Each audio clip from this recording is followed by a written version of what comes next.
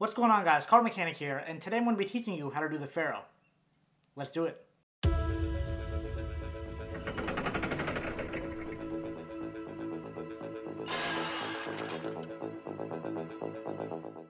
Now for those of you who don't know, the Faro Shuffle is actually used to interweave cards perfectly in a one-to-one -one ratio. So it looks a little something like this. Right, as you can see the cards are woven perfectly in a one-to-one -one ratio. Disregard that part, that's not, that's not even there. So as you can see the cards are in a one-to-one -one ratio and there's just so many cool techniques you can do with this, whether it be, you know, crazy shuffles, to card tricks, to flourishes, to cardistry. So it has so many uses and so many amazing things that you could do with it. Let's just get into how it's done. Now, of course, if you go on YouTube, you look at a bunch of different videos and tutorials on how to do the Faro Shuffle. Uh, different people teach it differently. So the way I like to do my Faro Shuffles is I like to split the cards in half. Of course, I think we all share that in common. And then I, I like to weave the cards together using the um, top left corner of one packet and the bottom left corner of the other packet. So that's what I use when I put those two corners together. And also I weave from bottom up. So my weaving of the cards looks a little something, hopefully you can see this, uh, like this. Right, so the cards weave together from bottom up. Let me show you that one more time. Here we go, weaving from bottom up. It looks something like that. Versus what I know a lot of tutorials on YouTube, uh, they teach it where you go from top down, which I kind of have a little bit of trouble doing, as you could probably see from me struggling here. So it's not perfect when I do it this way. Uh, I mess up a little bit here and there. That's why I like to go, if I can clean these up, that's why I like to go when I do my Faro shuffles, I like to go from uh, bottom up versus top down. All right? So, let's, uh, now that you know how I do the Faro shuffle, let's actually really get into it this time. Now, of course, starting off, you want to break the deck into two even packets. Uh, do as even as possible. Of course, ideally it's 26 26. Um, as you can see, mine are not completely balanced. I'm usually off by a card or two, but I'm getting there, getting at 26 every time. So, we got that all prepared. Now, how are we going to hold the cards? So, in my left hand, I'm a righty, so I hold one half, the top half in my left hand, the bottom half in my right hand. So, the way my left hand looks is I have my thumb um, face with the deck facing me. I have my thumb on the left side of the cards, my middle ring and point and uh, pinky finger on the right side, and my index finger on top of the deck. So that's my left hand. And in regards to the bottom packet, right, which goes here, this bottom packet right here, I have my middle finger and ring finger on the right side, of course again with the card facing me being the performer, and my thumb on the left side. And then I have my pinky finger on the bottom for support. Right, so now when I'm putting these two cards together, there are a couple things to keep in mind. One, you have to make sure the cards are squared up completely like this. You can't have the cards, you know, a bit jumbled like this or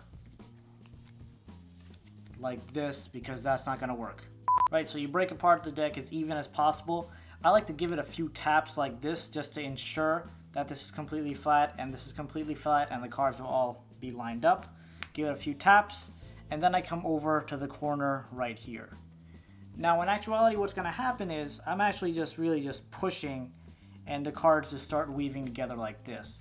But of course that's not going to happen in your first try because I know a lot of the time when I at least when I got started at first or when I'm teaching other people to do it, people are usually just like pushing the cards like this. So sometimes the cards start weaving as you can see here, but then like you're just gonna start ruining corners and nobody's gonna be happy when you do that. So you don't want to use brute force to put these push these uh, two decks together. So you want to approach it, you know, kind of in like a nice calm sort of way. Let me show you what I mean by that. Now, one thing I forgot to mention before even going into um, the two packets together, you want to make sure that there's no air between the cards right? So they're not like this, you're not holding them like this. You're only holding them when they're completely straightly in line with each other, no air between the cards, and then you get that nice grip with these fingers here and same thing with the other packet as well. So you want to make sure they're squared up and there's no air leaks between any of the cards. Now, once you're here, you start approaching the packet like this, right? You start approaching the two halves together and you want to meet them right at the bottom here. And you also don't want to approach directly because if you approach directly then as you can see nothing is happening. No matter how hard I do this nothing's gonna happen the cards are just gonna be ruined. So that's not something you want to do.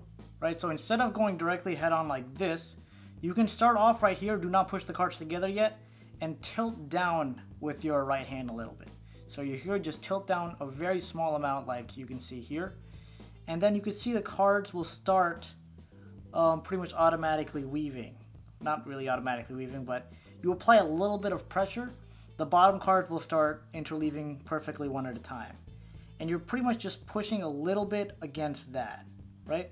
Well, that's all you're doing, you're just pushing a little bit at a time at this angle, right? And you're not pushing straight at this angle here, you're pushing a little upwards at this angle, and you'll see the card will start to interleave, and it'll pretty much leave you with that perfect faro, as you can see here. Oh god, you gotta stop doing that. So again, a few things to keep in mind, right? You split the packet as evenly as you possibly can. You tap to make sure the cards are completely square, no air gaps between all the cards. You approach at an angle, not directly forward like this. You approach at a little bit of an angle. And then you slowly start applying a little bit of pressure, not in a straight direction, so not completely straight like this, but kind of in like this uh, at the angle that you have the cards aligned in. Right, so that's the direction you start pushing in, and you can see the cards will start weaving perfectly naturally. Now there will be some points where the cards will just automatically stop weaving at one point, and you'll just be stuck. Uh, let me see if I can get an example for you. Right, you're coming here, you're doing this. Right, so let's say the cards are stuck here like this, and they're just just not working anymore you can move the card. You can start grinding like the cards like this, like like this a little bit, and you just saw the uh, Faro still goes into completion. Right, let me see if I can do that one more time. So you can see the cards get stuck here. Then I just slowly go back and forth a little bit, continue pushing, and you'll see that the card will start weaving again.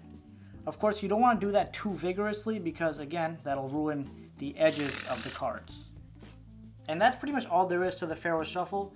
It's actually quite easy to do once you actually you know start getting a good amount of practice. It really shouldn't take more than three four days to pretty much hit that perfect Faro nine times out of ten. So again, just a few last tips. Cut it as close to halfway as possible. Make sure to square it up. No gaps between the cards. When you're weaving, come at an angle and not directly straight. Otherwise, it's not going to work. You can try doing this, but again, it's just going to ruin the edges of the cards. So you come here, boom, angle, weave those together. If it gets stuck, do a little bit of a grind from, you know, up and down. And then the card should pretty much come right together. And then from here, there's so many things you can do. You can just, you know, continue doing the shuffle and go crazy. But I'll be uploading a lot of cool tricks and uh, flourishes that you can do using the Faro Shuffle. So stay tuned for that. So that pretty much wraps up this video. I hope you guys enjoyed it. And as always, thank you so much for watching. Make sure to go check out my Patreon page to help support my channel because your support really means a lot to me. So I'll put the link to that in the description. And also in the description is a link to all my social media. So you can follow me on there for my photos, videos, status updates, and all that kind of good stuff. So all that being said, I will see you in the next video. Oh wow, you guys are still here. I need to start leaving some prizes or something, because why else would you stay here this long? But in the meantime, like, share, subscribe, because if you do, you are awesome. Thanks for watching.